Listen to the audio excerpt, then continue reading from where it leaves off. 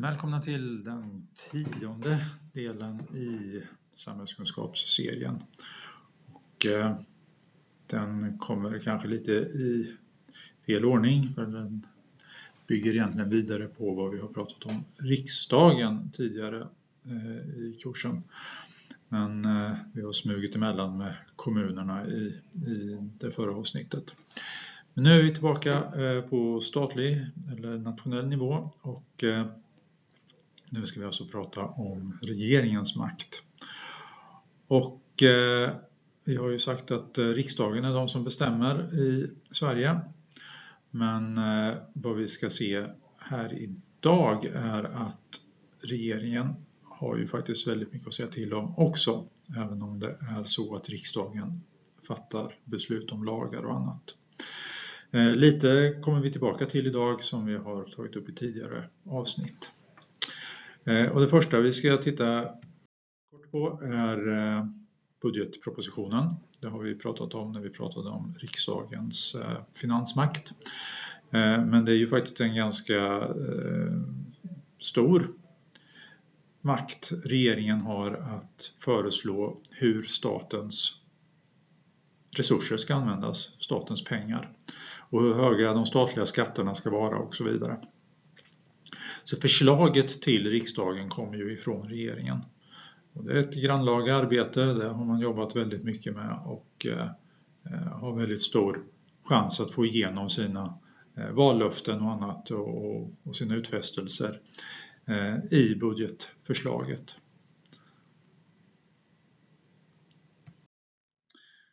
Eh, överhuvudtaget så är ju propositionerna ett, ett eh, skulle man kunna säga, maktmedel som, eh, som regeringen har.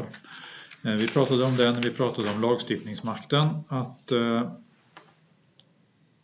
de allra, allra flesta lagar och lagförändringar som vi har i Sverige eh, kommer som ett initiativ, som ett förslag ifrån regeringen till riksdagen. Och eh, det är ju då de här propositionerna som vi pratade om i riksdagsavsnittet, lagstiftningsavsnittet. Och eh, i och med att nästan alla, idag lite färre än vad som är traditionellt, men nästan alla lagförslag eh, från regeringen blir ju faktiskt eh, genomförda, eh, genomklubbade i riksdagen.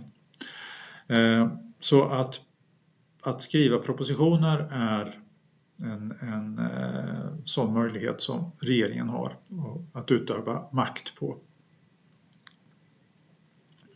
Eh, det här är ju första delen i, eh, ska vi säga, serien eller eh, processen från eh, ett förslag till färdig lag, det vill säga propositionen. Men som vi såg i lagstiftningsmaktsavsnittet så kommer ju också då regeringen tillbaka i slutet när eh, regeringen får den här riksdagsskrivelsen, alltså förslaget från riksdagen på att eh, beslutet från riksdagen att vi ska genomföra en ny lag eller en lagförändring. Eh, då kommer det här tillbaka till regeringen och då har man makten att utforma lagen så att den blir verklighet. Och det är inte minst genom att styra de statliga myndigheterna om vi har till exempel ett lagförslag som handlar om skolan, ja då är regeringen eh, ansvarig för Skolverket. Eh, regeringen eh, är ansvarig för polisen och Försäkringskassan och så vidare. Det finns ungefär, eller kanske till och med fler än 300 statliga myndigheter i Sverige. Och Eh, Skolverket är ett sånt men också eh, alla svenska ambassader, eh, länsstyrelserna som syns dåligt här bakom, högskolorna eller universiteten, alla utom några få, är statliga myndigheter. Och de kan regeringen styra med hjälp av så kallade direktiv där de i detalj talar om att så här ska ni jobba det kommande året. Så det är ju en eh, viktig, ett viktigt sätt för, för regeringen att utöva makt på. Att eh, skriva direktiv till de statliga myndigheterna, alltså tala om så, eh, hur de statliga myndigheterna som polisen, Skolverket och universiteten ska jobba det kommande året.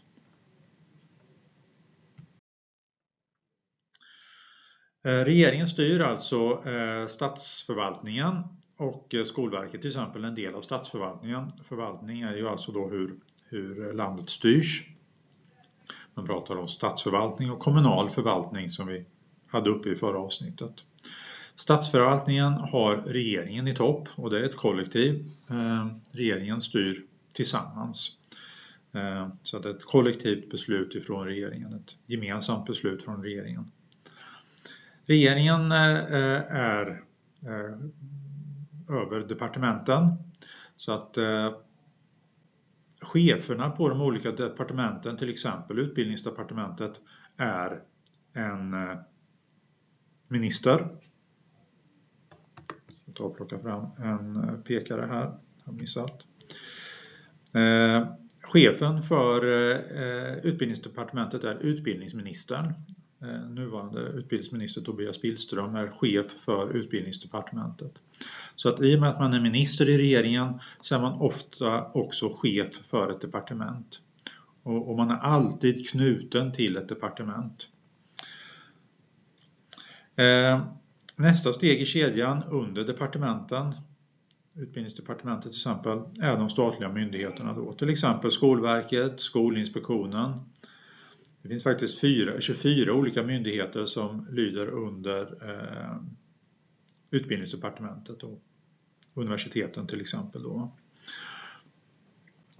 Eh, de flesta myndighetscheferna kallas, eller väldigt många i alla fall, kallas för generaldirektör. Så en generaldirektör är chef för ett, en statlig myndighet.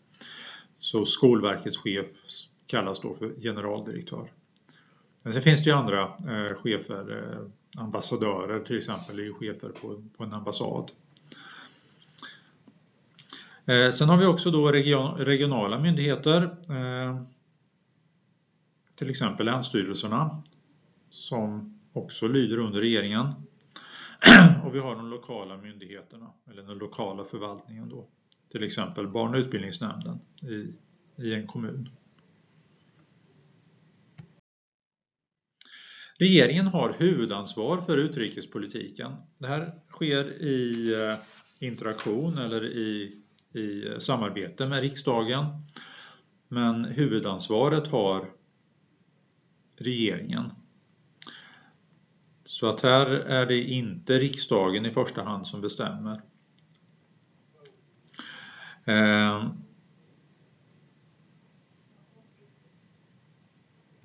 Regeringen eh, har också makt att utfärda förordningar. Eh, en förordning talar om hur en lag ska tolkas och tillämpas. Eh, så att lagen stiftas utav riksdagen men hur den ska utformas och hur den ska tolkas det har regeringen makt att bestämma. Och det här är ju naturligtvis också en stor makt som ligger i, i möjligheten att detaljstyra hur en, en eh, lag ska utformas. Så att eh, om man tar gymnasieskolan och, och, och, kommunala vuxenutbildningen till exempel så, så är gymnasieförordningen en, en, eh, en detaljstyrning utav hur gymnasieskolan ska fungera. Eh, på senare år och de senaste mandatperioderna kanske man ska säga så har det här fått ökad betydelse att utfärda förordningar och detaljstyra med förordningar. Eh, det här är ett sätt, eller har olika regeringar, både borgerliga och socialdemokratiska regeringar, har fått kritik för att detaljstyra för mycket med hjälp av förordningar. Att försöka runda riksdagens makt genom att istället skriva en förordning. För det här är som sagt då ett sätt att, eh, att lägga makten hos regeringen.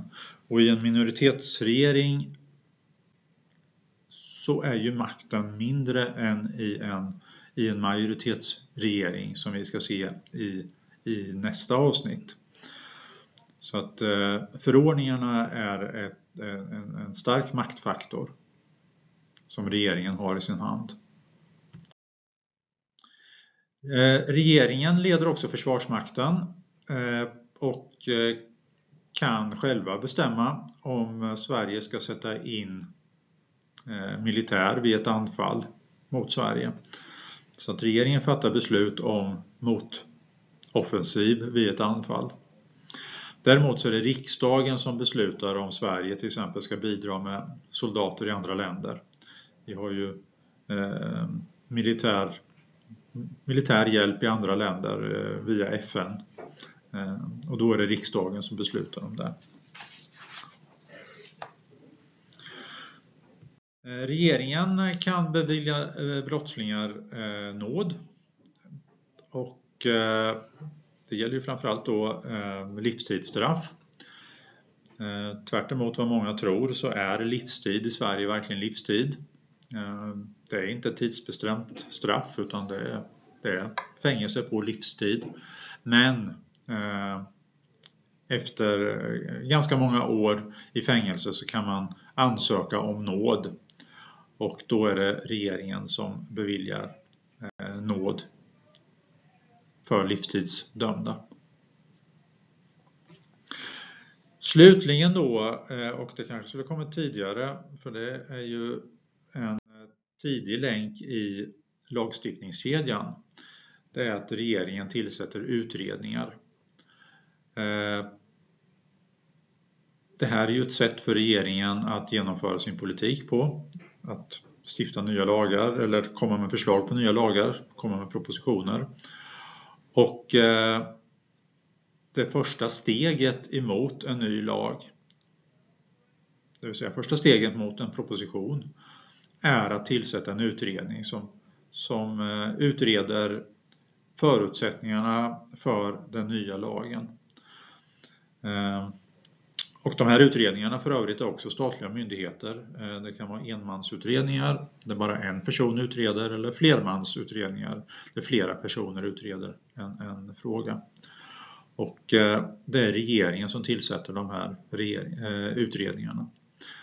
Eh, så att det här är ju ett, eh, ett viktigt sätt för regeringen att, att styra över lagstiftningen. Så att eh, sammanfattningsvis så kan man ju konstatera att regeringen har mycket makt. Även om man inte bestämmer om nya lagar, bestämmer om nya budgetar och så vidare, för det gör riksdagen, så är bakgrundsarbetet i regeringens händer. Och implementering, alltså genomförande ansvaret ligger hos regeringen. Och på så sätt så får man väldigt mycket makt. Eh, första paragrafen, första kapitlet i regeringsformen, alltså vår viktigaste grundlag, är eh, som följer. All offentlig makt utgår från folket. Eh, regeringen styr riket. Och eh, här har vi alltså då sett hur regeringen styr med hjälp av förordningar, utredningar, propositioner och så vidare. Eh, nästa avsnitt kommer att handla lite mer om olika typer av regeringar.